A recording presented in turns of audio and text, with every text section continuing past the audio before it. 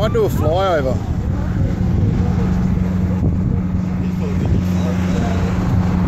Oh no, he's going to drop it. He's going to put it on the ground.